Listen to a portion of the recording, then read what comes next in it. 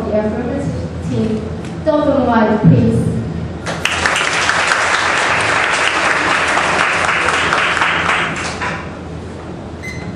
Good afternoon, ladies and gentlemen. Street demonstrations are and have been essential part of our right to citizens in Hong Kong. And to take a stance against our freedom of speech and our freedom of assembly be a very dire day of democracy indeed.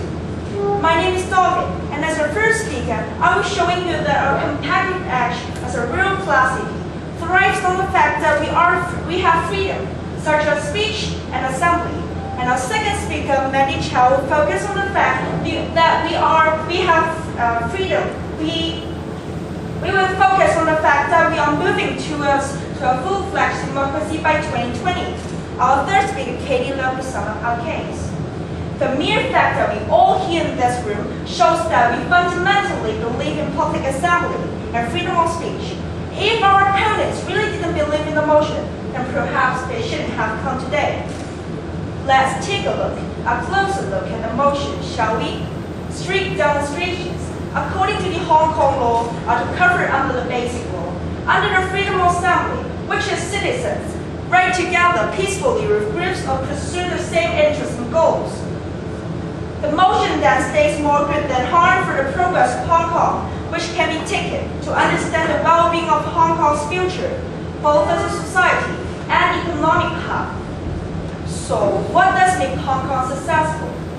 According to United States Department website, Hong Kong is a free and open society where human rights are respected, courts are independent, and there is a well-established respect of the, the rule of law.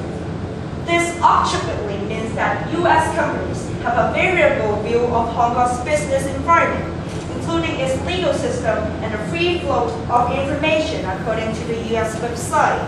And the spread against our right to assemble and freedom of speech with a deadly threat against what has made us so successful in the past. Do we really want to turn away places like corporate America?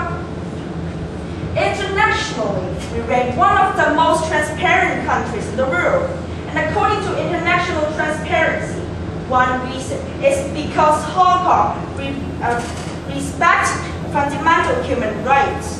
In fact, 15 of the top countries on the transparency list are also the best places to live in the world, places such as Canada and Australia. Is it just a coincidence? Countries also respect and encourage the right to speech and right to assemble. Ladies and gentlemen, if the negative team have their way, we will probably not be here today. Don't let them take away our fundamental rights as citizens. Preserve your right to be heard. Preserve your right to be assembled. Thank you. Affirmative team case. Let's have Mandy Chow.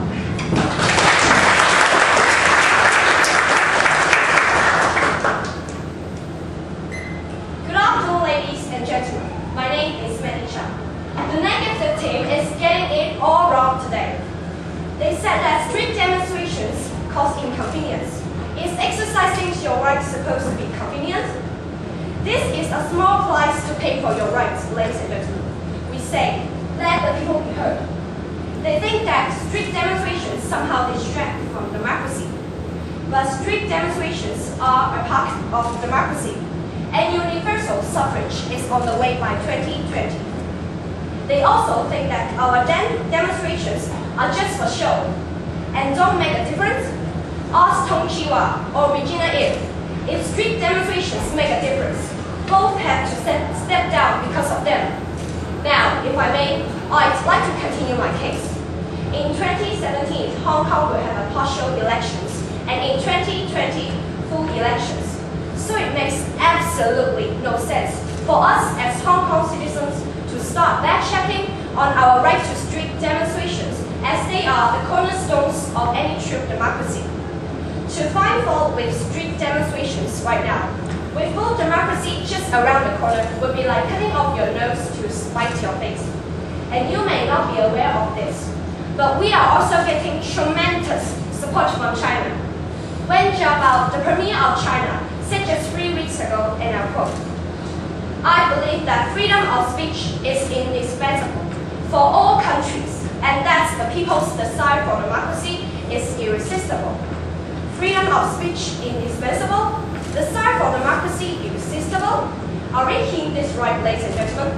Yes, in fact, we are. And this is coming from a leader of a nation that's opened fire upon his students. Students who are demonstrating for the kinds of rights and freedoms we have, and they were killed by the thousands. We all remember Tiananmen Square bombing, and that's precisely what happens when a government doesn't allow its citizens to assemble and or speak. But Wen Jiabao didn't stop there. Oh no, he continued. Are you ready? And I'll quote again. I often say that we should not only let the people have the freedom of speech, we more importantly must create conditions to let them criticize the work of the government. So there you have it, ladies and gentlemen. When China approves of our right for full elections, when Wen Jiabao says people should have freedom of speech, be able to criticize the government, and that democracy is irresistible. What more could possibly be said to support demonstrations? Well, I think the time has come for me to rest my case and allow you to draw your own conclusions. Ladies and gentlemen, we ask you today to both to preserve your right to be heard and to preserve your right to assemble. Thank you.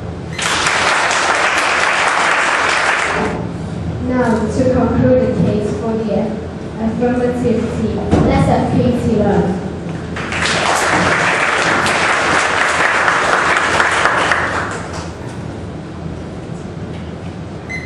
Hello everyone, my name is Katie Lam and I'm the third speaker for the affirmative team. Our debate today on street demonstrations and their importance to Hong Kong's progress is drawing to a close. But before I summarize our case, allow me to correct some of the naive comments made by the negative team. The negative team says, we are not here to talk about our rights, but a key factor to the progress of Hong Kong is our rights.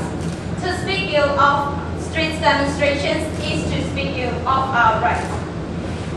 They seem to think that our street demonstrations cause violence. Remember the protest against Article 23? 5,000 people took to the streets and not a single arrest. They think that street demonstrations somehow distract from democracy. But street demonstrations are a part of democracy. And universal suffrage is on the way by 2020. Now, if I may, I'd like to begin our summary. Dolphin, our first speaker, drew your attention to the fact that street demonstrations were not only good for the progress of Hong Kong's people and economy, but that we actually thrived because of rights such as right to assemble. She clearly defined what street demonstrations were and pointed out that our right to partake in them were protected under the freedom of assembly within the basic law.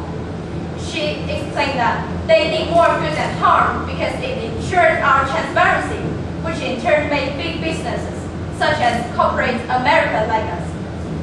She cited the U.S. Department website and explained that U.S. companies like Hong Kong because we are a free and open society, where human rights are respected, courts are independent, and there is a well-established respect for the rule of law. And to suppress these rights would be a deadly strike against what makes us successful. Half-jokingly, she suggests that if the elected team didn't believe in the then perhaps they shouldn't have turned up today. Mandy Chow, our second speaker, explained that full democratic elections were just around the corner, and to disregard our democratic rights at this point in time makes absolutely no sense. She went on to explain that Wen Jiabao, in a president's speech, declared that freedom of speech is indispensable and that democracy is irresistible. He followed that up by saying that people should be able to criticize the government. And all that coming from a leader of a nation that not so very long ago fight upon its students for the demonstrating for the rights that the negative team is so eagerly ready to dismiss today. And on that point, she, as I'm going to do, drew her speech to an end. Ladies and gentlemen, please don't dismiss the importance of what we have before us today. We say preserve your right to freedom of speech, and preserve your right to assemble. Don't let anyone compromise these rights of yours. Thank you. And that comes down to the main thing, and that is reading from your cards. That's what made the difference. The scores are very close. Uh, 236 for the affirmative team and 227 for the negative team. So,